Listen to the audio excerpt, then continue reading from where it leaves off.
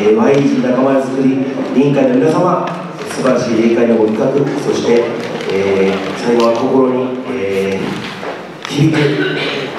委員長からの挨拶ですね。ありがとうございました、え、それでは、えー、11番校の漢字工業の方に移りたいと思います、えー、漢字工業の方を鴨下幹事よりお願いしたいと思います。よろしくお願いいたします。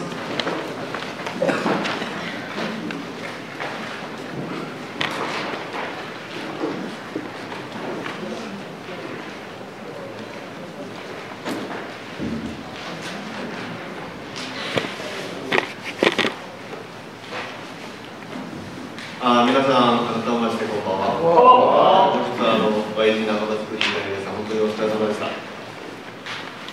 と、あの挨拶をしようと思って、いい感じ声をしようと思ったんですけれども、まず最初にちょっと確認してみたいなってことがあります。あの入会、自分は多分1年目だなって思うと、ちょっと手を挙げて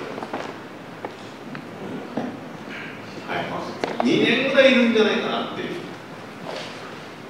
3年目っていう。あれ嘘ついてるん。まあいいん。ですけどね、まあ、あと今日は社長のわがままに無理やり付き合って連れてこられちゃった従業員さん。で何人かいらっしゃいますあ本当すいません。これ冗談なん。ですけどお前にも言うじゃないですか大丈夫ですよ鈴木万付さん。後で引っ込み思案なん。ですかそうです、すいません。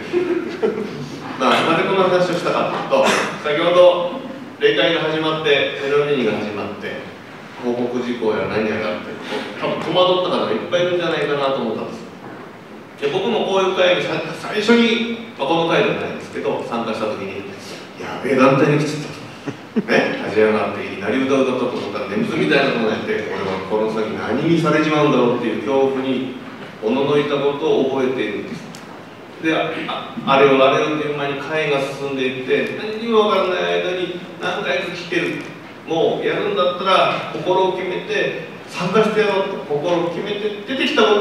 時に初めてあそうだったんだこうだったんだで1年経って2年経って3年経って自分が役割をもらうようになって伝える側になった時に初めてあ青年ってこういうことやったんだっていうことにつながるんだと思うんです。ですから今日来ていいんだよ展示会あるから来てよいいから来て来てって多分言われてると思うんですよ。いいから大丈夫だから商品持ってきて置いといてそれで大丈夫だからって多分みんなニヤニヤしてるからみんなそうだと思うんですよね。大体1000円ってそんなもんですから。あのそういう時にまあキックって言ったら何着てけばいいですかぐらい聞いてもらって今日は作業着だよとか今日はスーツ着てきてねとかそんなことでお誘いがあると思いますから自分が行けると思った時には積極的に参加するっていう気持ちを持って自分で自分でこの会に飛び込んでもらえれば審議会の皆さんも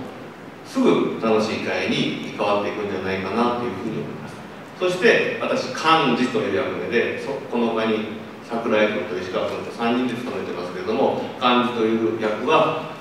まあ正直に嫌われ者のような役目であります。会計のことや会策のこと会の決まりこれが守られているかまたこういう催し物があった際にこれがきちんと正しくできたのかできていたところは何なのかできていなかったところは何なのかというようなお話をさせていただく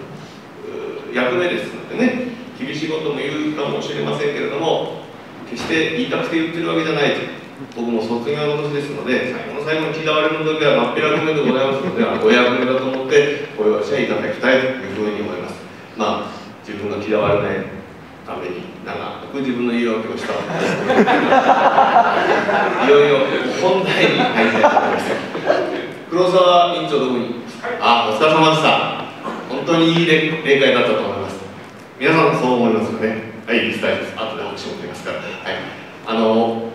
役員会の時相当役員の皆さんはこの例会が出てきた時に大丈夫どうなるんだろうかというような不安があったと思います。その中で委員会に持ち帰っていただいて委員長が一生懸命考えていただいたざっくり考えたらどうかなと思ったら実は緻密な計算がなされていてこれだけの人数の人間をここに呼んで楽しませた。そして一人も余すことなく参画させてもらった。そして最後には全国大会のアトラクションのような素晴らしいめったに見れないような、まあ、手品は別ですよ。あの深谷君のあのカット割りとかねすごいものを見せてもらって驚きをいただいたこれを全て委員会メンバー含めた身内で手作りでやったってことはすごいことだと思います、えー、悪かったところっていうのはこれ自分たちで判断するべきところだと思いますから委員会の皆さんがこれから良かったところを褒めたたえ合いまたここはもうこうした方が良かったねと思うところもしあればその話を懇親会二次会の席でしっかりとみんなで検証してもらって敗さえも糧にする青年部であり霊界であってほしいというふうに思っています。まあとにかくね青年部の霊界の性能がどんどんどんどん高くなって次の霊界は誰ですか？どこですか？うん？次の霊界あうち？めっちゃなもんな二人で。頑張って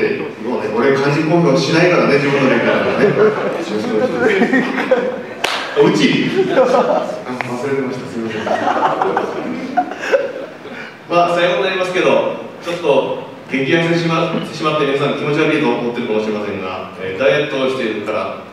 ではなくちょっとお腹の調子が悪くてですね安倍晋三さんと同じ病気だったらいいなって今思っているところ冗談ですよ冗談加齢による疲労に疲労性下痢みたいな感じでちょっと食事が今喉を通らないもんであのちょっと痩せてしまいましたけれどもまあ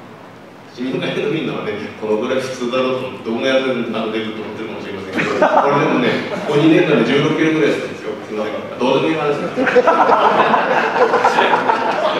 2週間ぶりに人前に出るから楽しくて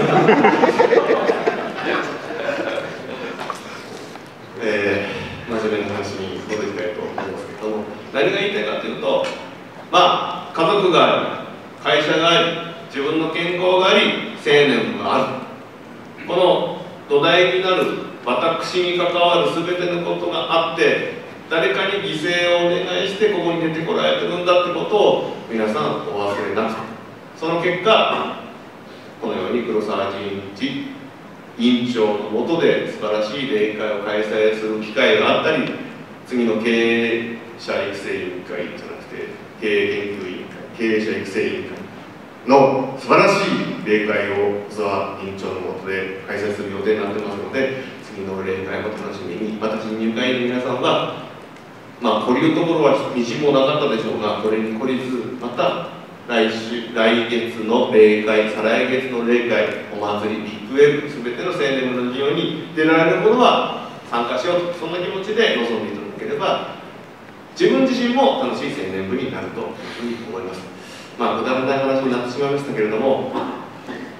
何を話しても今日一日この例会の感動を持って帰っていただいてまた交換した名刺これを宝物にしていただいて他者の情報これを宝物にしていただいて何か困った時があったらその道のプロがこれだけいるんだということを分かって行動とともにある絆こういうものを作っていっていただきたいというふうに思います、えー、とにかく素晴らしい連会でした。YK 仲間づくり委員会の皆さん本当にありがとうございました。皆さんありがとうございました。以上漢字公表させていただきます。